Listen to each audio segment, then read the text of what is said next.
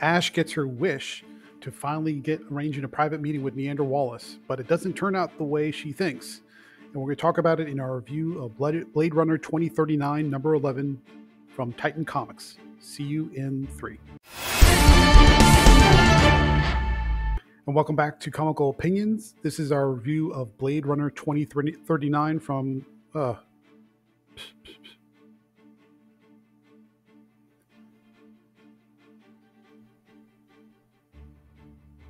and welcome back to Comical Opinions. This is our review of Blade Runner 2039, number 11 from Titan Comics.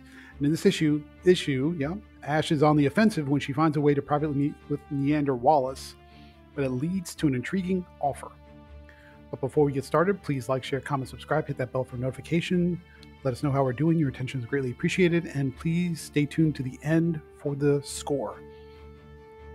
Credits Blade Runner 2039, number 11, is, written by Mike Johnson, art by Andres Guinaldo.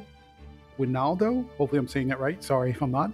Colors by Marco Lesko, letters by Jim Campbell, and the main cover, cover A, is drawn by Jesus Hervas. Let's talk about what happened in the last issue before we catch up. Previously, Ash was meeting with the very first Blade Runner, Cal Moreau, to try and get a lead into how she can get close to Niander Wallace, presumably to kill him before he gets his hands on Isabel Selwyn and learns possibly the secret of instilling fertility into the replicants. While all that's happening, the group of rebels that Ash is working for and Freysa continue to interrogate Ash's replicant clone, codenamed Rash, where Rash all of a sudden does a heel turn and says, I'm tired of being a slave. I don't want to be a slave. I have too much of Ash's personality in me. I will join you and I will help you get rid of Niander Wallace so I can be free just like you. Of course, they don't trust her, but that's what happens. When they're considering this offer and, figuring out whether or not having Rash on their side is a good thing or a bad thing, Love, the other replicant, who is the first replicant cop, shows up to try and free uh, Rash because she thinks Rash has been kidnapped. A fight ensues, and they eventually capture Love. And that's where we left off. Pick up in this issue, which is issue number 11, which is also the penultimate issue in the Maxi series. So the next issue is the finale. In this issue, the group of rebels are considering uh, Rash's request, and she gets a little bit more into the details of explaining why she wants to join them and why she wants to be free of Niander Wallace, although they still don't quite trust her. Meanwhile, they interrogate Love to find out what she does and does not know, and there's a suggestion that Love is so staunchly entrenched in following Niander Wallace's direction instead of wanting to be free herself that they sort of figure out that maybe Love, maybe possibly has feelings for Niander Wallace, romantic feelings. That may or may not be true. We'll see how it plays out. Meanwhile, Ash gets information from Cal Moreau, which is basically a, a, lead or somebody who's known Niander Wallace for a long, a long time before they part ways. So Cal's presence in this maxi series is very minimal, but he does provide value in that he gives Ash a lead. She goes off and they find with Rash after they have a, a meeting and, and there's some conflict or and, uh, and uh, argument over whether or not Rash should be part of the rebels. Once Ash finds out about the offer, they start arguing, but reluctantly, Rash and Ash go off. I know that sounds weird to say, Rash and Ash, but that's what they're called, so that's where it is. They go off to visit this lead, which is a little old lady in Japanese garb who, on the outside, proclaims to be Niander Wallace's uh, nursemaid ever since he was a little tiny boy. But uh, we know in reality that she's also supplying Niander Wallace with what she calls fresh organic material. That probably means bodies. She never really gets in the details, but there it is. And so there's a fight ensuing when the old lady finally reveals who she really is and gets her replicant bodyguard to attack Rash and Ash.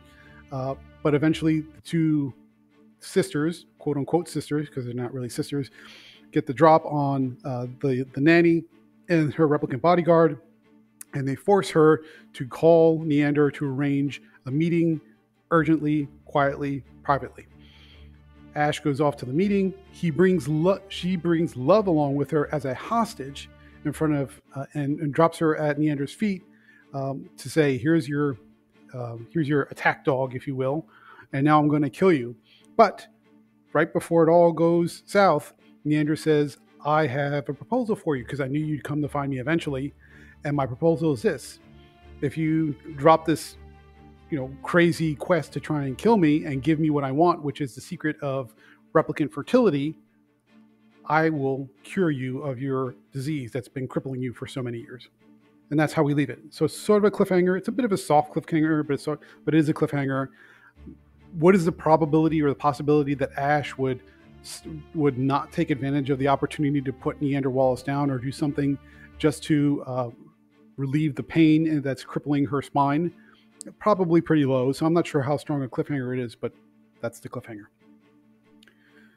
where does this fit in within the context of the films just as an information factoid if you want it where does this fit within the context of the films and the broader mythology it takes place after the original blade runner film with harrison ford uh, as the main uh, blade runner but it takes place i believe sometime before the uh, the follow-up film with ryan gosling which i think is 2049 so this comes up close to the back end of that film, but not quite. You're separated by a few years.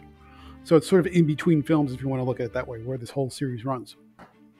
What do we think about Blade Runner 2039, number 11? Uh, nice twists and turns, lots of drama. There is some action in, during the fight between Rash Ash and the little old lady with the bodyguard. And that sort of plays out very naturally, very organically. It flows well. The scene transitions make sense.